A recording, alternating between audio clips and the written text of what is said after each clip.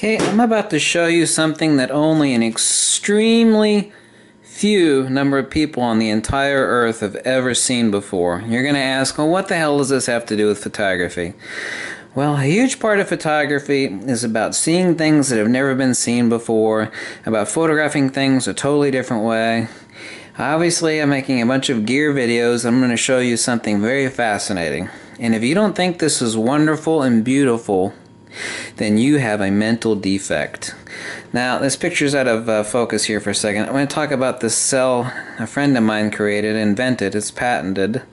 And, uh, of course, I just have uh, electrical tape and a cardboard ring around this. What I have to are two super flat, optically grade flat lenses that have been cemented together at the edges. And the other side is have a piece of regular paper that is black printed black on one side. I could easily remove this you'll see the same thing. It just gives it better contrast. So this is just a sheet of paper. What is ringed around here is just a hardware set of LEDs so there are bright white LEDs shooting into the center of these two lenses okay that are cemented together. Super simplex idea Hold on, I'm going to get to it. You're going to love seeing this in a second. You should be fascinated. When I show people this invention, and you can able to see it close up, you know, I see wonder on people's, the most jaded people on earth, I see wonder and amazement on their faces as if they were a little child. You're going to love this. Let me explain it first. Between these two lenses is a super thin smear only a micron thin basically, just a smear of oil, a special suspension of uh, nano uh, nanofluid. Okay, it's a ferrofluid. It's technically ferrofluid with another suspension, but it's basically only a micron thin between these two pieces of glass. And I just have this black mask here to keep the light from spilling over, but they're just bright white LEDs shooting in here. For the first time ever, you're going to be one of a very, very, very, very, very small handful of people that is able to see magnetism as it really is. And you're thinking, oh yeah, well, we know what magnetism looks like. I just got done writing writing, whereas I'm still working on the book. It's called Uncovering the Missing Secrets of Magnetism. And right now, I've made like 140 videos, and I've got like 60 more videos to make.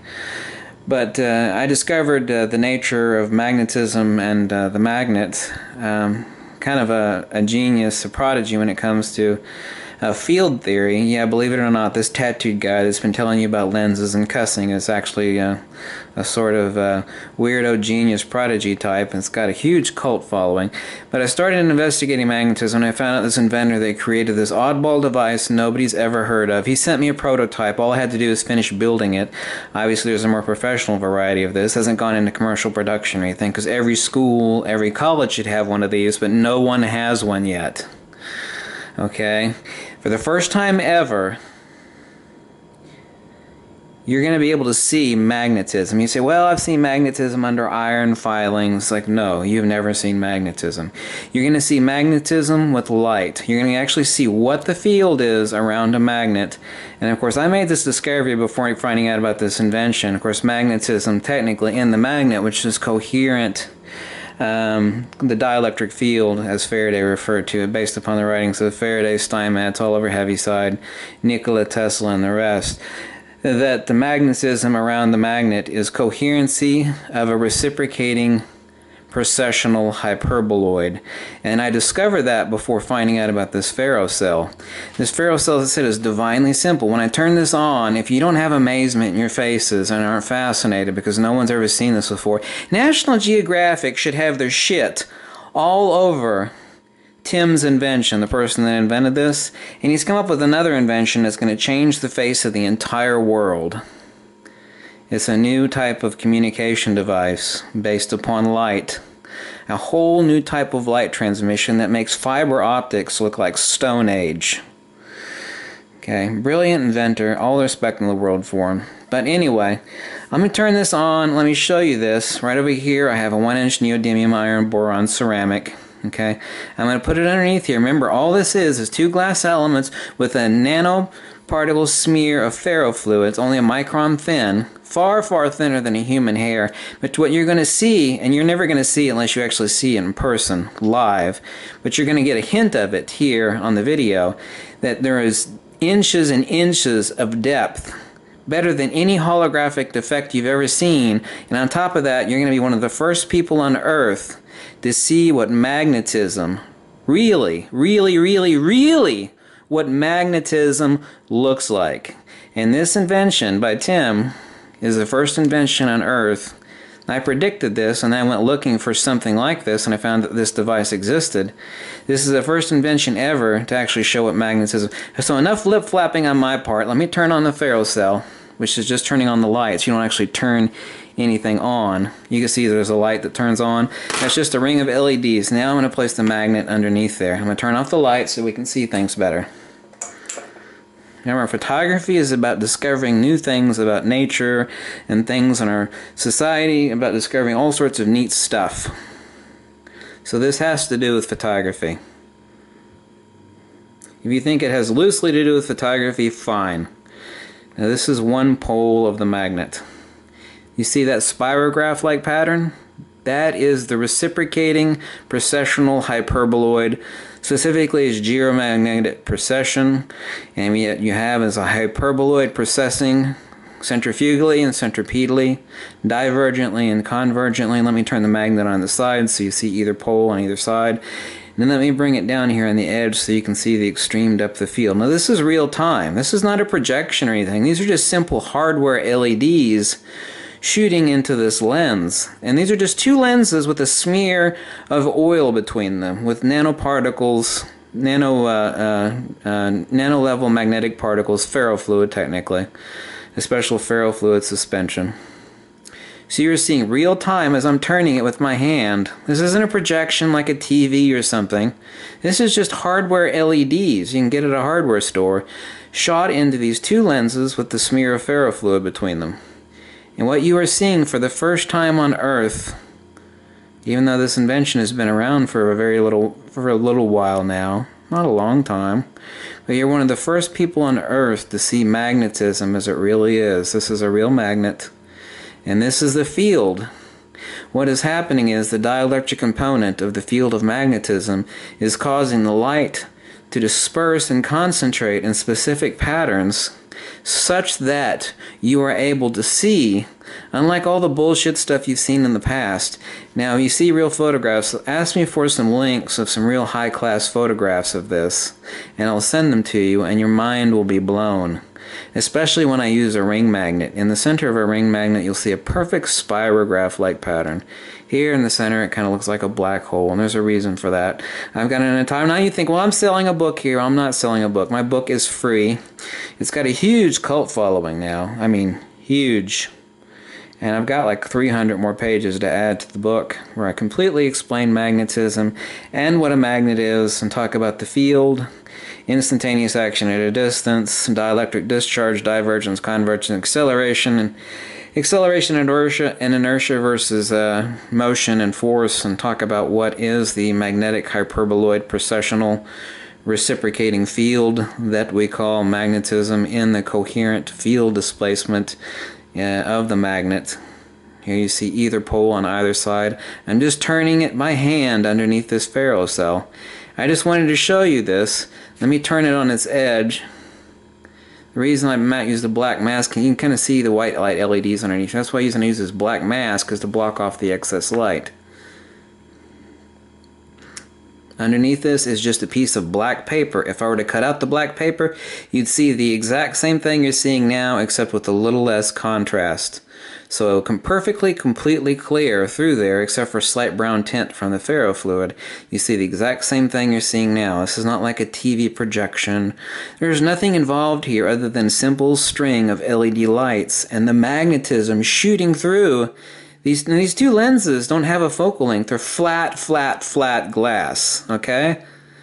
What is happening is the light is diverging through the ferrofluid and is causing concentrations and divergences of the light such that for the first time on Earth, you as a human being are able to see magnetism in its true beauty. Now you see this depth of field?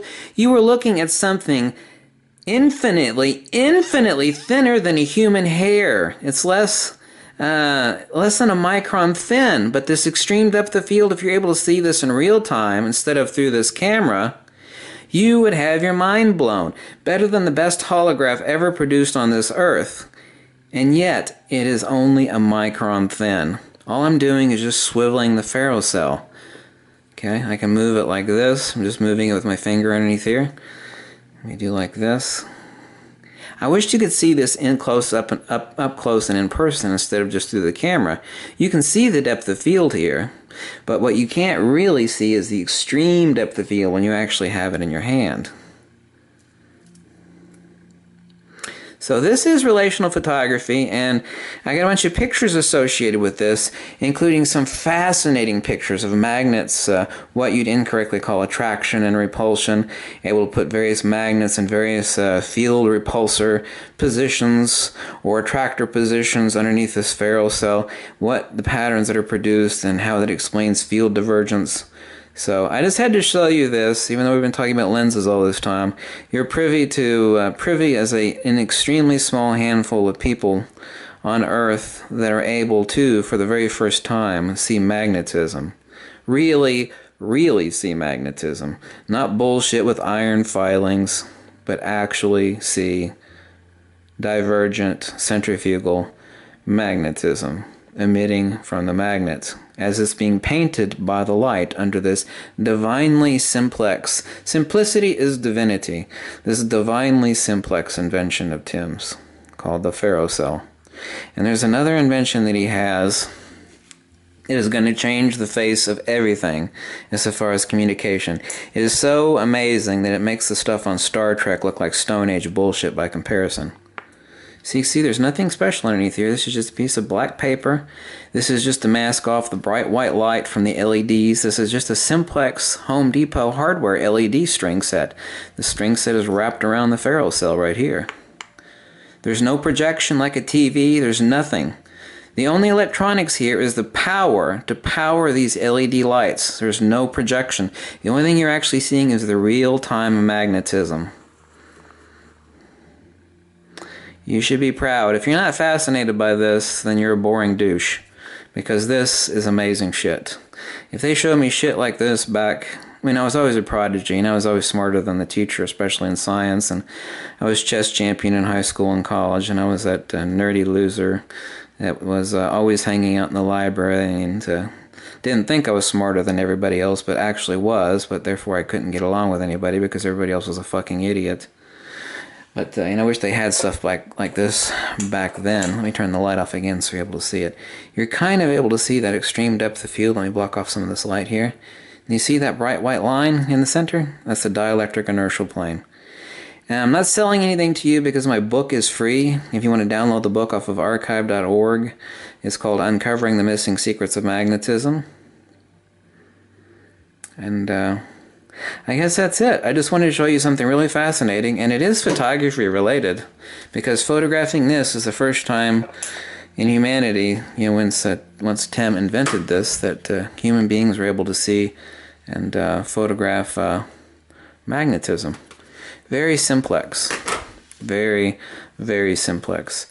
These magnet, uh, these uh, lenses uh, have uh, no magnification, concave or convex. They're perfectly dead-ass optical grade flat. No difference than sheet glass except super precision. So, and just a smear, a smear, slight smear in between there. And that incredible holographic effect just out of that smear due to magnetism and light. Part of that is based off the Faraday effect, because magnetism causes light divergence in the EM spectrum. Remember, too, being part of a photographer is being master of light, manipulating light. And this is kind of related, but I thought you would think this was really fascinating, and a lot of people would like to see it. And if you don't think that was fascinating, then there is something wrong with you. Thanks for watching. Let me know. Bye.